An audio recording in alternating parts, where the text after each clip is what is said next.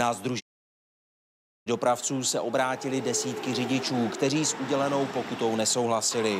Kontrolní měření pak potvrdilo, že váhy mají s přesností problém. Potvrdil to vlastně i státní metrologický dozor. Zjistil, že ty váhy se skutečně ve všech parametrech do těch stanovených tolerancí nevejdou. Technologie je náchylná například na nečistoty, sníh, námrazu a nedokáže správně zvážit cisterny s tekutým nebo sypkým materiálem. Ten materiál se může posunout eh, dopředu v té silocisterně, to znamená, že eh, se může stát, že se přetíží eh, náprava na tahači. Řidiči kritizují, že stát z nich dělá pokusné králíky. Podle ředitelství silnic a dálnic je to daň, kterou musí nést všichni průkopníci. My jsme vlastně úplnými pionýry v Evropě. Celá Evropa čeká, jaké zkušenosti my uděláme. Minister dopravy nestrácí optimismus a vysokorychlostní váhy chce po Česku dál rozšiřovat. V příštím roce chceme, aby jich bylo opravdu k dispozici funkčních 13. V tuto chvíli e, máme sedm váh, z toho jedna je v provozu, nějaké řeší e, technické e, potíže. Ministr věří, že stávající systém bude po důkladném otestování a kalibraci přesnější.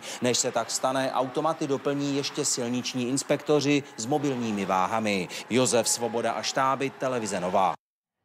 Ministerstvo vnitra představilo metodiku, jak pomoci zeštíhlit stát a zlepšit fungování státní zprávy, což je jedním z hlavních cílů vlády Petra Fialy. Materiál, na kterém zaměstnanci rezortu rok pracovali, počítá především se slučováním jednotlivých agent, lepší komunikací nebo elektronizací.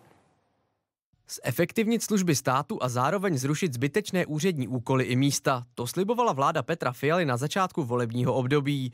Teď dva roky poté přichází ministerstvo vnitra s konkrétními kroky, jak by mohly jednotlivé rezorty v inventuře postupovat. Materiál ministerstva vnitra obsahuje návod, jak přeskoumat všechny činnosti, které má daný úřad na starosti a určit, zda není možné je zefektivnit, vylepšit nebo dokonce zrušit. Ministerstvo vnitra tak chce například sloučit některé agendy, zlepšit komunikaci a sdílení informací pomocí elektronizace, zlepšit fungování archivů nebo změnit zákony o veřejných sbírkách a státním občanství. Vypadlo z toho několik věcí, které se týkají čistě eh, toho, jakým způsobem eh, funguje ministerstvo vnitra v rámci zákona, to znamená v té zákonné agendě, ale pochopitelně i dovnitř úřadu, aby se optimalizovaly některé služby. Metodiku teď proskoumá pracovní skupina na úřadu vlády. Ta by měla připravit konkrétní návrhy a doporučení pro revizi celé státní státní zprávy. Dá se škrtat úplně všude, jenom je potřeba najít politickou odvahu k tomu. A, takže já si myslím, že stále je prostor k tomu, aby se škrtalo. Škrtaly se různé daňové výjimky, škrtaly se různé dotace, pomoci a podobně. Navzdory dlouhodobým slibům, že se má stát zeštíhlit, vzrostl počet státních zaměstnanců oproti Loňsku o více než 10 tisíc lidí. Vláda si ale na svých prioritách trvá. Nechceme bez hlavy škrtat místa ve státních úřadech, ale chceme přesně zmapovat, zda se některé činnosti nedělají zbytečně, zda by je nešlo digitalizovat či zefektivnit. Vláda chce inventuru státu provést do konce roku. Marek Bruna, Televize Nova. Největší raketa, jakou kdy lidstvo postavilo, má za sebou druhý pokus o let do vesmíru a dopadl mnohem lépe než předchozí zkouška, při které raketa explodovala hned po startu.